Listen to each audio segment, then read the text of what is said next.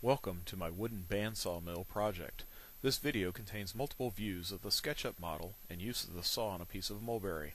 This project was inspired by Matthias Wandel's wooden bandsaws, and its form is derived from Geek Woodworker's Mill that he posted on Lumberjocks on YouTube. I will include links to both in the video description below. I started with a basic design in AutoCAD, but made changes as I progressed. There are things, like blade guards, that need to be added. There are other things that I would change if I were doing it again from scratch. Bottom line is that it can be used to cut lumber, and that is what I was after.